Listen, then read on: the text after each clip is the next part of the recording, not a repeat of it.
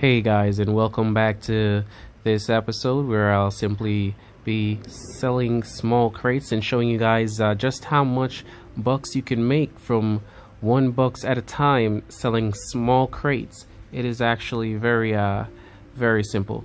Now, if you haven't already, gonna hit, go ahead and hit that like button, hit subscribe so you'll be uh, notified when my new videos come out and if you are able to go ahead and there's a support link in the description below that you can use to donate to my PayPal guys.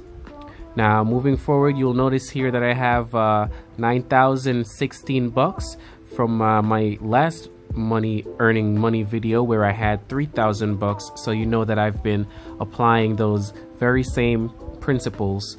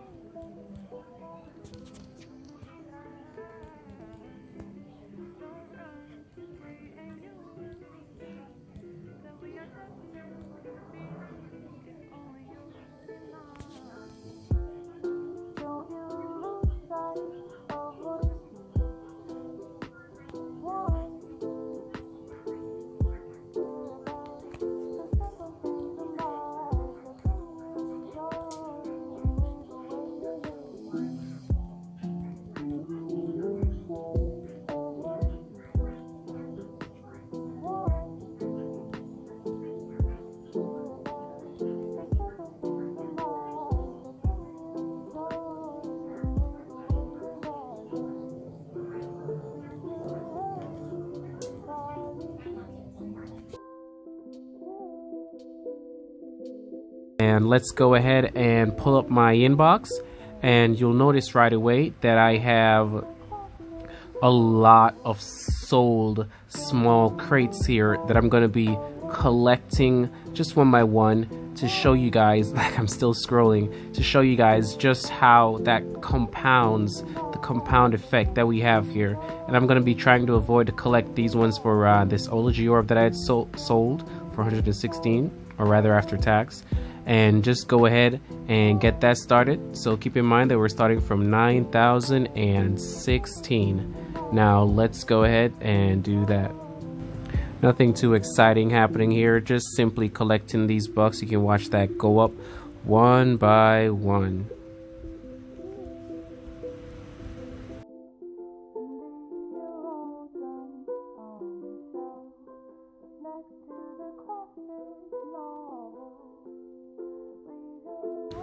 Okay, so you'll see that I've collected all those uh, single bucks digits, and I made sure to leave out those um, the ad I watched, the quiz, and the Eulogy Orb, and you'll see that I am now at 9,197, and I started off at 9,016. So immediately you see that I've made 181 bucks there simply by selling all my small crates. Um, which I got from missions and just grinding, fighting other ships. So essentially, free is what I'd um, I'm like to point out here that we've earned those bucks pretty easily. Now, for those of you that hadn't thought that selling small crates would get you these um, bucks, there you have it. That's uh, evidenced right there. 9,197. The numbers don't lie. Let me just go ahead and collect these quiz and Eulogy orb values now. And you'll see that added to my main account there immediately. And um, while I'm here, let me go ahead and visit my starbase. And what I'm going to do is collect those free four bucks. I was at 9,319 there. Go down to my print room, press on that go back and we'll see that I am now at 9323 alright guys that's pretty much it for this video. Thanks for tuning in again. And so if you already if you haven't already go ahead and hit that like button subscribe to the channel and if you are able to donate to the PayPal. It really supports me. The link is in the description below. Thanks guys and I will catch you in the next one